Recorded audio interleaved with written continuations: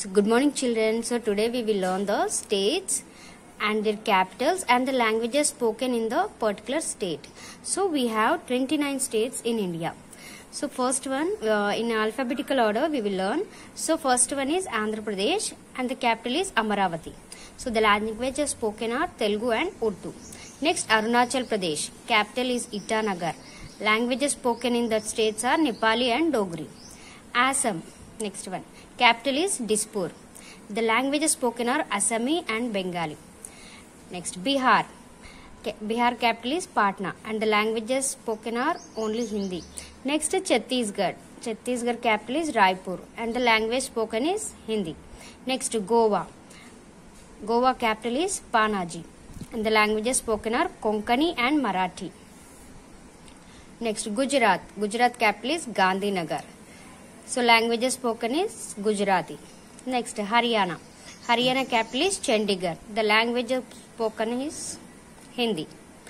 Next, Himachal Pradesh. Himachal capital is Shimla.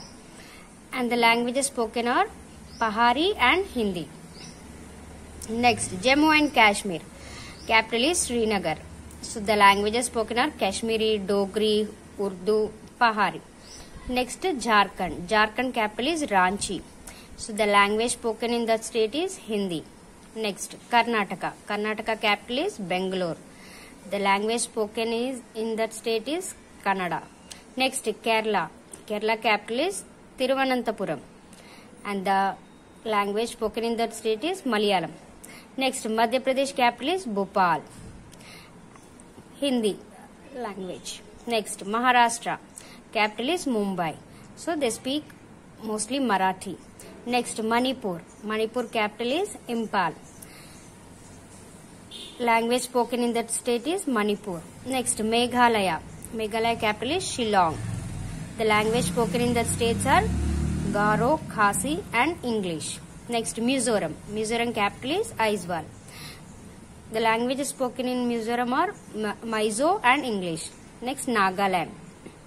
Nagaland capital is Kohima. Next, the languages spoken are English, tribal language. Next, Odisha. Odisha capital is Bhubaneswar. The languages spoken are Oriya. Next, Punjab. So the capital is Chandigarh and they speak Punjabi. Next, Rajasthan. Rajasthan capital is Jaipur. So they speak uh, Rajasthani and Hindi also. Next, Sikkim. Sikkim capital is Gangtok.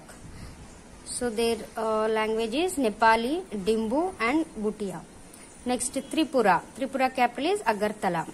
So they speak Bengali and Kokobrak.